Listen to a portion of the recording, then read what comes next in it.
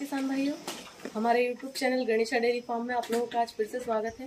मैं सुनंदा चौधरी आपका वेलकम करती हूँ हमारे YouTube चैनल में। आज एक भाई का कमेंट था कि चार महीने से लेकर बछड़ी के गावन होने प्रेग्नेंट प्रेग्नेंट होने तक के लिए कितनी फीट खिलानी चाहिए इसे? तो आप प्लीज़ ये बताइए। तो वो एक मैसेज में नहीं बताया जा सकता, इसलिए इस पर वीडियो बनाई गई है। ये वीडियो सभी के लिए यूज़फुल वीडियो है, इसलिए कृपया करके सभी देखिए। जैसे जब बछड़ी हमारी तीन जनती है और बछड़ी जब पैदा होती है, पैदा होने से लेकर तीन महीने तक तो हमें उसे जो डाइट देना है, वो है केवल उसे फ़ीड खिलानी है। फ़ीड में हमें सिर्फ़ मतलब कि सूखा और हरा, ये दो ही चीज़ तीन महीने तक कुछ भी नहीं खिलाना है। फ़ीड में जो हम काफ स्टार्टर होता है, सिर्फ़ वो रखिए और पानी रखिए। ये दो चीज़ उसे खिलाइए तीन महीने तक और जैसे ही आपकी बछड़ी तीन महीने की कंप्लीट हो जाए, तब आप उसे जो सूखा चारा और हरा चारा तीन महीने बाद से देना स्टार्ट करिए। तीन महीने से पहले आप सूखा और हरा मत दीजिए। इससे जो बछड़ी का जो लीवर है, उस पर इफ़ेक्ट पड़ता है और बछड़ी का जो पेट है, वो भी बड़ा हो जाता है। तो इस वजह से हमें तीन महीने से पहले सूखा और हरा ये दो ही चीज़ नहीं देना चाहिए, सिर्फ़ केवल फीडिंग जो हम काफ स्टार्टर होता है, वो खिलाइए।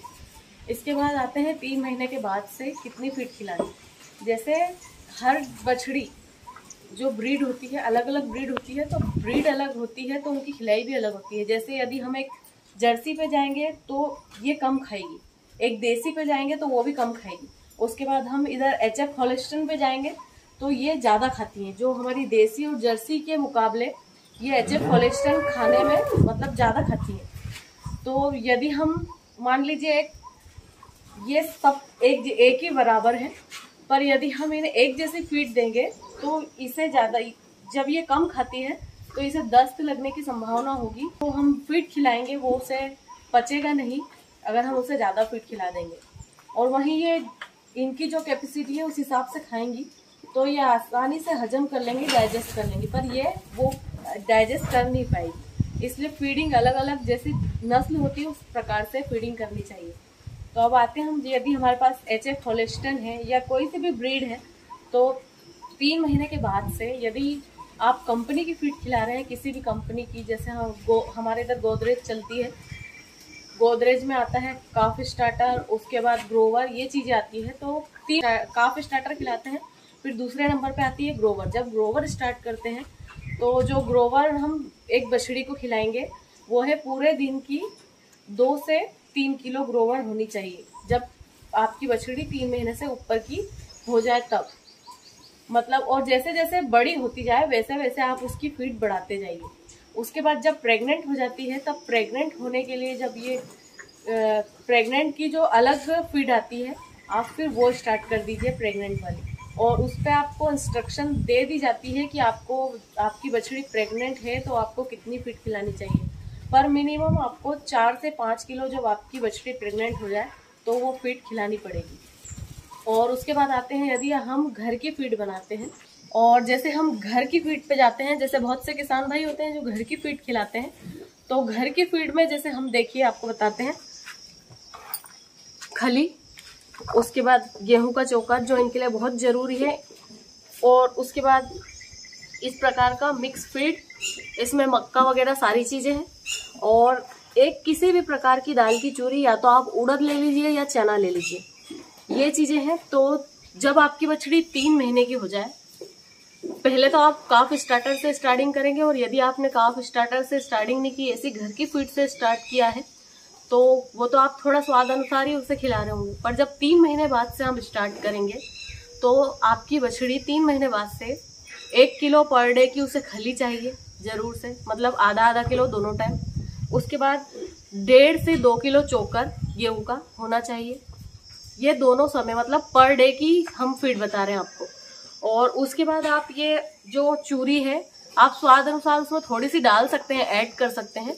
और पर डे की आधा किलो मक्का पीसी हुई। और पीसी हुई भी मक्का कैसी होनी चाहिए? जैसे हम, जो हमारा बाटी का आटा होता है, उस प्रकार से पीसी हुई होना चाहिए। ताकि इन्हें अच्छे से डाइजेस्ट हो जाए, ये पोटे में फेंके नहीं। और जो ये ऐसी पीसी हुई मक्का खाएँगी तो इनका शरीर अच्छा हेल्दी हो जाएगा उस वजह से। और ये ये फ़ीड आप पर डे की, मान लीजिए आप कितनी हो गई, एक किलो तो खली हो गई पर डे की। उसके बाद एक से डेढ़ किलो आपकी चोकर हो गई, और आधा किलो आपकी मक्का हो गई। मतलब हो गई तीन। तीन किलो ये हो गई, और आप थोड़ा, उसमें थोड़ी सी चूरी ऐड कर दीजिए। तो तीन से साढ़े तीन किलो आपकी ये पर डे की, आपकी बछड़ी की डाइट हो गई। और इसे गला कर खिलाइए। जैसे आप इतना बाटा है अभी ये, अभी इसे गलाएँगे तो ये जो तगाड़ी है ये आधी भर जाएगी। अब इतना आप अपनी बछड़ी को खिला दीजिए और इसके साथ साथ सूखा चारा और हरा चारा वो भी खिलाइए। अब ब्रीड के हिसाब से आप अपनी बछड़ी को खिलाइए। आप कैसी ब्रीड रख रहे हैं? एच होलिस्टन है। तो जो हमने जो हमने आपको फ़ीड बताई है वो उसके लिए बहुत अच्छी फ़ीड है। और अगर आपके पास देसी है तो आप उसे थोड़ा सा कम कर दीजिए, क्योंकि देसी जो हमारी गाय होती है, उसका पेट थोड़ा छोटा होता है। फिर वो डाइजेस्ट नहीं हो पाएगा या फिर उसे दस्त लगेंगे। और एच एफ़ होलेस्टर है तो इतनी फ़ीड वो आसानी से डाइजेस्ट कर लेगी। और फिर जैसे जैसे आपकी बछड़ी बड़ी होती जाए थोड़ी थोड़ी आप इसी फ़ीड को और थोड़ा बढ़ाते जाइए। और जब आपकी बछड़ी प्रेग्नेंट हो जाए तब भी, भी आपको ये फ़ीड चलने देनी है। बस आप उसके बॉडी वेट के हिसाब से इस फ़ीड को थोड़ा सा और बढ़ा दीजिए। और मिनिमम आप स्टार्टिंग में आधा किलो से लेकर मैक्सिमम तीन साढ़े तीन किलो फ़ीड सूखी बता रहे हैं। ये सूखी फ़ीड आप अपनी बछड़ी को खिला सकते हैं। सूखी इतनी हो गई मतलब आपने उसमें पानी डाल दिया तो सीधे ये डबल हो जाएगी। मतलब पाँच से छः किलो ये फ़ीड हो जाएगी जब पानी आप इसमें डाल देंगे तो। और ये पर डे की फ़ीड है। आप पर डे अपनी बछड़ी को इतना खिलाइए, ना ज़्यादा खिलाइए, ना कम खिलाइए। यदि आप लालच में जल्दी बड़ी करने की लालच में यदि आप फ़ीड ज़्यादा खिला देंगे तो उससे क्या होगा? आपकी बछड़ी को जो है वो डाइजेस्ट नहीं होगा, उसे या तो दस्त लगेंगे या उसका पेट फूलेगा।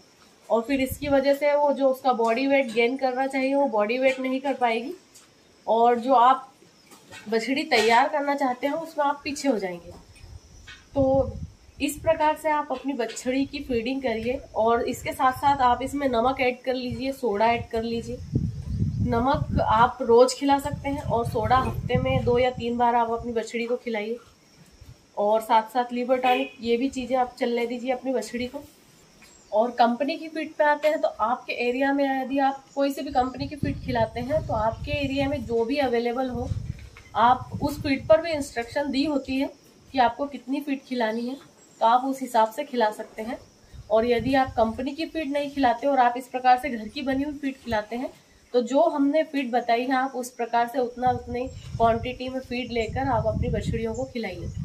बस जैसे जैसे आपकी बछड़ी बड़ी होती जाए, उसकी फ़ीड आप उसमें थोड़ी थोड़ी और बढ़ाते जाइए।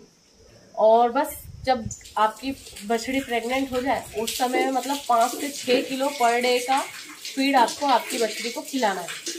तो ये एक छोटी सी जानकारी थी आप लोगों के लिए। और ऐसे ही वीडियो आप लोगों को और अच्छी अच्छी चाहिए तो आपको जो भी वीडियो में पूछना है या आपको डेयरी फार्म की कोई भी वीडियो की जानकारी चाहिए हो या वीडियो बनवानी हो तो आप कमेंट बॉक्स में कमेंट करके आप सवाल कर सकते हैं और पूछ सकते हैं। हम आपको नेक्स्ट वीडियो बनाकर फिर बता देंगे उस बारे में।